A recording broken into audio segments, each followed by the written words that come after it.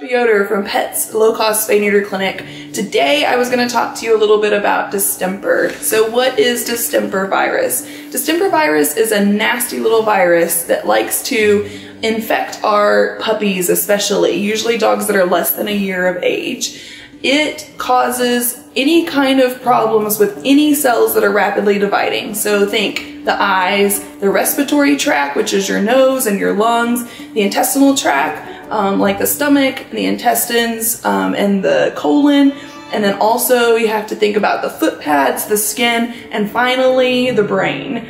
So this virus can basically look like anything. So what do you watch out for? You watch out for sniffly dogs, so runny eyes, runny nose, sneezing, coughing. Then you also watch out for vomiting, diarrhea, um, and fevers. And then finally, you start to watch out for those neuro signs. So sometimes these dogs will have full-blown seizures. Sometimes they'll have little gum chewing fits where they just do their mouths like they're trying to catch some flies um, out of nowhere.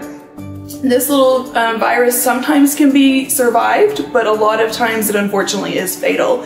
So how do we prevent your dogs from getting it? We vaccinate. That is the best way to prevent distemper is to vaccinate your puppies. We recommend vaccinating at 6, 8, 12 and 16 weeks and here in Texoma there's a huge amount of distemper present and so we also recommend doing that last vaccine at actually at 20 weeks of age. So that's five vaccine for your little pups and it's very important and that's the best way to prevent distemper.